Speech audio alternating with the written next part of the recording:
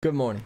Got a quick trick here. I use this to get crazy little bass sounds or resonances in Ableton of just percussion loops and stuff. A little goofy, a little weird, but I like to just kind of mess around with stuff that I find in Ableton to help get weirder sound design. I'm no wizard, but uh, here's how I do it. So, first things first. I'm gonna grab one of my percussion loops. Ooh, drop it on an audio track. Don't mind that stuff. Second, I grab a Corpus. I love Corpus a lot. It's a resonator in Ableton. It's crazy. It's different than the regular resonator because it has all these options of different resonator types. You can start, I think it starts with beam. On this tune knob, I have it set to D. I usually work in D minor. Admittedly, I transpose around if I want different keys. Easier for me to write on the MIDI roll with it. I, I don't have my piano set up, but my favorite resonator type is definitely pipe. Now you can already hear that it just sounds pretty gnarly. I can play around with this little ball. It's a very quick way to get those metal sounds that I like using. Another thing I like to add is a delay. I turn off the sync, I put it, linked, then you know, short little delay. I like the repitch function because of this. Get those little uh, weird extra resonances and frequency shifting as you uh, change around the time and play with that. So you can automate that throughout a track to get something a little bit like this so we just go like that. Give it a little bit more maybe at the very end.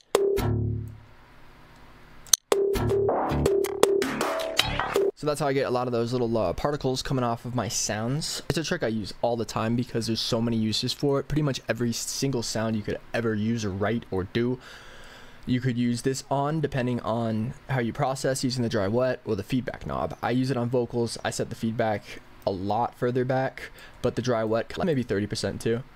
The next trick with the corpus right here is getting that tune and tone that you like.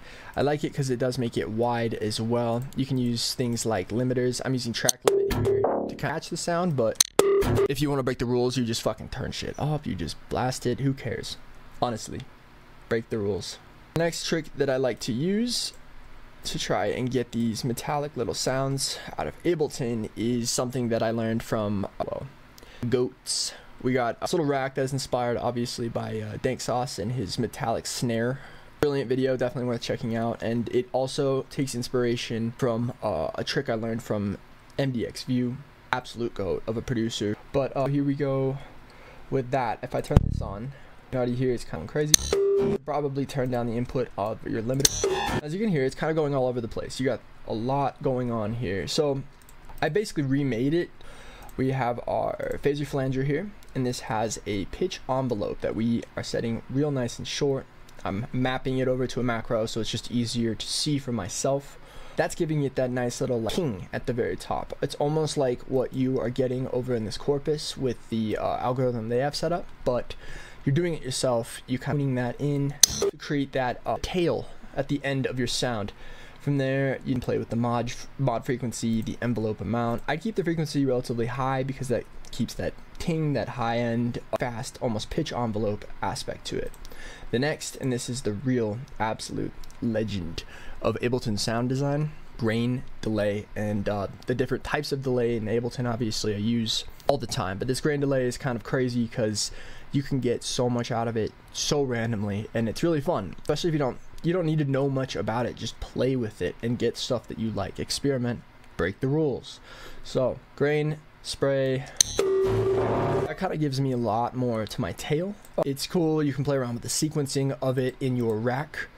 Frequency you can get the frequency of the grains as they come out of your delay that's the pitch. I love the pitch, and that was one of the uh, most important things that I got from when I was working with MDX View, and that is as you play with the pitch, you get these crazy lower end artifacts coming out of your sounds. Now, depending on sound choice, you can get these wonderful multi sounds almost out of your piece that you're working on, and this is really helpful when I'm producing because it's almost like inspiration. I don't have to go through and create those little like uh, blips and bleeps. I just take one of these loops that I already have made for myself and I can get so much out of it right off the bat. From there, you can freeze and flatten this or uh, whatever you want, chop it up, go crazy with it. I do a lot of audio chopping, um, not only with stuff in my production here, you know, sounds, all that. I also do it with entire beats. I can make a video about that later if you are interested. Last thing, and this is from Bang Sauce. I noticed he uses pitch map a lot. It does sound like itself. So using it in tandem with other plugins such as this or in sequence, maybe if I put the corpus after. Regardless, it is a resonator that you can tune. I have it to C chromatic right now. Let's get it on D, natural minor. Hear that it's creating these little almost chords out of it as it resonates through. Well, thank you for watching. I'm going to do more walkthroughs of my production. I'd like to be making more videos and such for YouTube. I love learning. I want to give back to people